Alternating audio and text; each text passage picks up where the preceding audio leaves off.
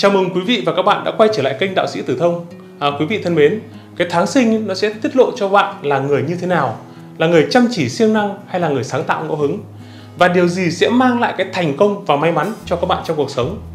Và trong video ngày hôm nay tôi sẽ chia sẻ và giải đáp cùng quý vị và các bạn điều này. Xin mời quý vị và các bạn cùng theo dõi. Thưa quý vị, cái tháng đầu tiên chúng ta xét là tháng riêng, những người sinh vào tháng riêng. Đúng không?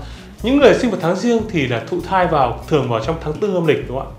Những người mà sinh vào tháng riêng thì có số như sau. Kiếp trước có tu hành và có cứu người. Cho nên kiếp này ấy, thì lộc đã ăn thì đầy đủ, của tiền thì nhiều, có điền viên rộng, có chức phận sang trọng và sống lâu.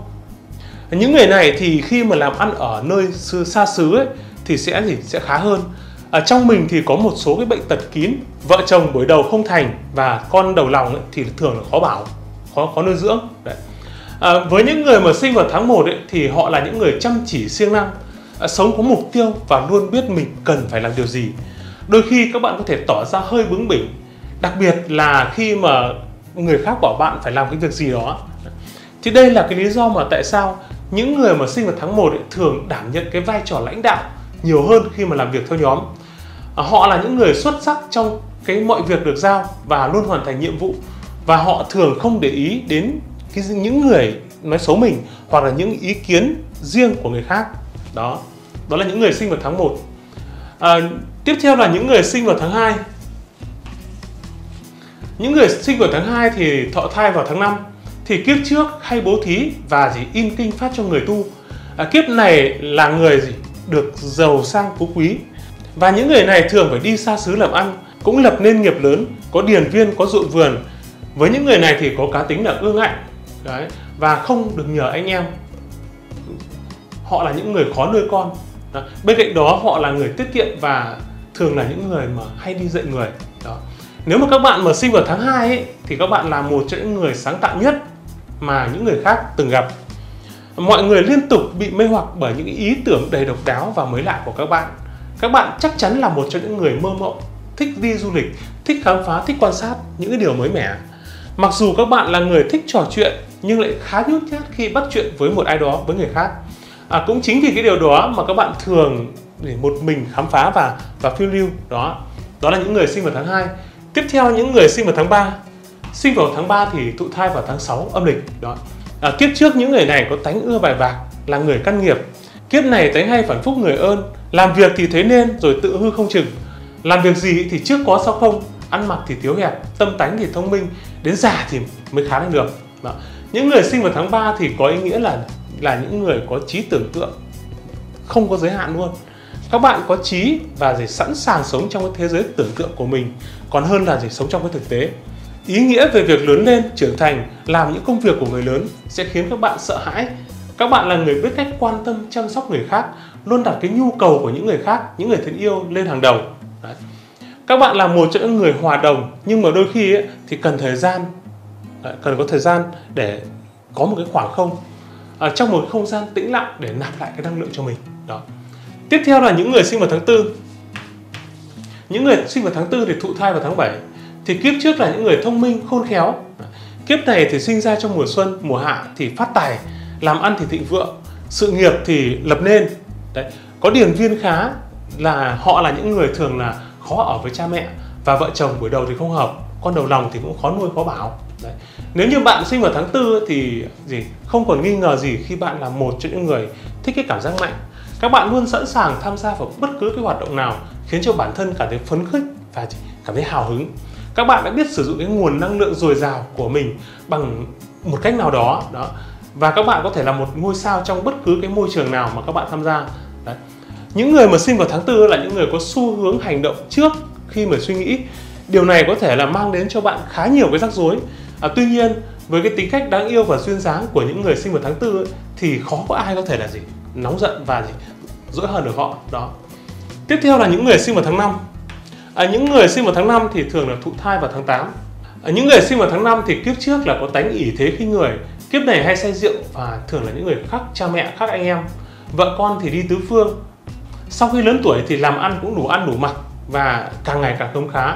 Nếu biết làm điều lành ấy thì điền viên khá. Đấy nếu mà các bạn mà sinh vào tháng 5 ấy thì bạn là một trong những người sử dụng cái não trái rất là thuần thục. Các bạn có gì? Cách cách tiếp cận cuộc sống rất thực tế và rất là logic. Họ là những người luôn suy nghĩ kết quả trước khi là đưa ra những cái quyết định. À, tuy là có những cái xu hướng suy nghĩ quá nhiều nhưng mà ít nhất thì các bạn chưa bao giờ đi sai đường. À, bên cạnh đó các bạn này sinh vào tháng 5 ấy, thì là những người khá kín đáo khá bí ẩn nhưng một khi đã tìm được đúng người thì các bạn rất dễ dàng mở lòng mình ra. Đó đó là những người sinh vào tháng 5 tiếp theo những người sinh vào tháng 6 à, sinh vào tháng 6 thì thụ thai vào tháng vào tháng 9 thì kiếp trước có tính can trường rồi sau này mới biết làm lành. À, kiếp này thì khắc cha mẹ anh em vợ chồng trong nhà thì có nhiều cái bệnh tật. Đấy. về sau thì những người này cũng phát tài có chức có phận và gia đình gặp nhiều may mắn. Đấy. thì những người sinh vào tháng 6 là những người khá nhạy cảm các bạn luôn phải cố gắng hết sức để bảo vệ bản thân bởi những cái điều tiêu cực trong thế giới này. Các bạn đối xử với những người khác theo cách mà các bạn muốn được đối xử bởi các bạn có sự thấu hiểu có sự cảm thông với những người xung quanh. À, trên thế giới này thì không có ai quan tâm và thấu hiểu người khác hơn chính các bạn. À, những người thân thiết nhất với bạn thì luôn biết rằng họ có thể tin tưởng và gì giao cho bạn mọi việc. À, những người thân thiết nhất với bạn thì luôn biết rằng họ có thể tin tưởng bạn trong mọi chuyện và gì? Bạn cũng biết rằng họ sẽ luôn gì? Luôn ở đó vì bạn. Đó đó là những người sinh vào tháng 6 tiếp theo, những người sinh vào tháng 7 tháng 7 âm lịch. Thì thụ thai vào tháng tháng 10 không? thì kiếp trước có tánh hay bàn luận về điều lành, hay bố thí cho người nghèo. Kiếp này thì đi đến đâu thì cũng có người kính trọng đến đó. Tuổi nhỏ thì làm ăn bình thường, lớn tuổi thì phát đạt và có chức có phận. Vợ chồng thì hòa thuận nữa. Vợ chồng hòa thuận, đó. Con cái thì ngoan ngoãn, thông minh, học giỏi đó. những người sinh vào tháng 7 ấy, thì là những người mà có sự đam mê khiến cho bạn trở thành một người vui vẻ tích cực. Các bạn khá là hài hước hòa đồng và cởi mở. Các bạn có sự cân bằng hoàn hảo giữa thì người hướng nội và những người hướng ngoại. Bên cạnh đó các bạn có thể là sôi nổi hào hứng và tràn đầy cái năng lượng khi mà ở xung quanh mọi người. À, tuy nhiên các bạn cũng cần phải có một, một khoảng thời gian để gì? Để cân bằng trở lại. Đó là những người sinh vào tháng 7 tiếp theo những người sinh vào tháng 8 những người sinh vào tháng 8 thì thụ thai vào tháng 11 thì có số như sau. Kiếp trước thì có tu niệm lành nhỏ ác lớn thiện. À, lúc này thì đang cái tuổi trả cái quả nghiệp. Thuở nhỏ thì phải chịu khắc khổ. Ít nhiều thì cũng phải di chuyển nhiều và thường là không được sống nhờ anh em cha mẹ. À, ngoài 36 tuổi thì họ sẽ làm nên sự nghiệp và sự nghiệp phát đạt lập nên cái sự nghiệp có chức có phận và cha mẹ của họ thì là những người sống lâu trăm tuổi. Đấy. nếu mà bạn mà sinh vào tháng 8 âm lịch thì, thì bạn là một người khá độc đáo và là một người khá lập dị và khác biệt. Cái tính cách ấm áp của những người sinh vào tháng 8 sẽ khiến cho mọi người xung quanh luôn muốn ở bên cạnh các bạn. Và các bạn cũng được cho là một trong những người hài hước nhất mà những người khác đã từng gặp. Các bạn có thể dễ dàng mang lại cái nụ cười cho bất cứ ai.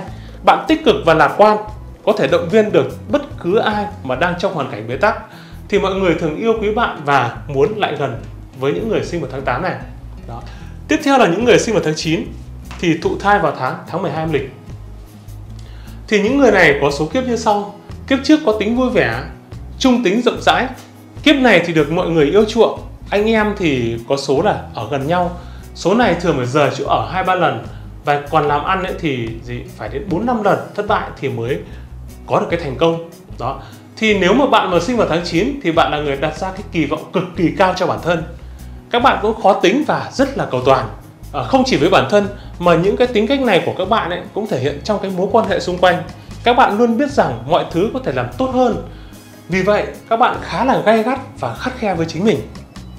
Và những người khác mặc dù có thể gây ra cái sự khó chịu nhưng các bạn chỉ muốn mọi thứ mọi người trở nên ngày càng tốt hơn mà thôi đó đó là những người sinh vào tháng 9 tiếp theo là những người sinh vào tháng 10 tháng 10 âm lịch thì thọ thai vào tháng vào tháng riêng thì kiếp trước có tính là can đảm tự ác tự thi đúng không ạ? À, không phục người kiếp này phải chịu cô độc một mình lưu lạc tha phương. Nói chung là cái số phận phải long đong lận đận. Thì đến ngoài 50 tuổi thì mới lập được nên nghiệp lớn mới phát tài và gì, diện mạo của người này thì khá là tốt. Những người mà sinh vào tháng 10 là những người đầy tham vọng và không có điều gì là có thể ngăn cản được các bạn đạt được ước mơ của mình. À, chắc chắn các bạn là người dám nghĩ dám làm. Các bạn không phải là người mà thích cái sự bất ngờ. Vì thế các bạn luôn lên kế hoạch cho mọi thứ. À, những người mà sinh vào tháng 10 là những người không ngại bất kỳ cái việc gì. Luôn chăm chỉ và cần mẫn như một chú ong. Đó là bởi các bạn luôn muốn để có một cái cuộc sống đầy đủ và tiện nghi hơn. Đó. Tiếp theo tháng thứ 11 âm lịch đúng không ạ? Những người sinh vào tháng thứ 11 âm lịch là những người thụ thai vào tháng 2 thì có số kiếp như sau. Kiếp trước thì có tính kiêu thái, khinh thị người. Kiếp này thì hay đau tim và đau lục phủ ngũ tạng và phải trả quả. Những người này thường là khắc cha khắc mẹ khắc anh em ở kiếp trước và là những người khó nuôi. Số này phải làm việc thiện nhiều ấy và phải giải oan thì đến tận năm 44 tuổi thì mới làm ăn được phát tài, có điền viên và sự nghiệp chức phận, lúc đó mới được dạng danh con cháu, đúng không ạ? Những người mà sinh vào tháng 11 là những người mà khá là bí ẩn. Đấy thì không ai biết nhiều về những người sinh vào tháng 11 này kể cả đó là những người gần gũi với bạn nhất. Các bạn có thể có tính cách đa nghi vì thế các bạn khó có thể đặt lòng tin vào người khác. Họ là những người có xu hướng là thu mình lại và luôn giữ cái khoảng cách với mọi người xung quanh. Thì nhìn chung con người của những người sinh vào tháng 11 ấy, thì giống như một củ hành tây ấy, bóc càng nhiều lớp nhưng mà bóc hoài vẫn không hết. Đó đó là những người sinh vào tháng 11 và chúng ta xét đến tháng cuối cùng là tháng 12 tháng 12 âm lịch thì những người sinh vào tháng 12 âm lịch thì thường thụ thai vào tháng 3 thì có số như sau. Kiếp trước có tính nói tiên Phật đấy, nhưng mà lòng lại rắn độc. Kiếp này thì ăn mặc thiếu hay đau đôi mắt cô thế một mình và phải làm nhiều điều lành thì mới trả được quả xưa và được giải oan. Đúng không nếu mà các bạn làm phước nhiều thì trời Phật sẽ cho chuyển hóa vì cái phước đức ấy sẽ lập nên được cái nghiệp lớn và trở thành gì? Càng già càng giàu. Và nếu mà không ăn năn ấy thì sẽ phải chịu cảnh khổ suốt cuộc đời. Những người sinh vào tháng 12 này thì là một trong những người có tinh thần tự do.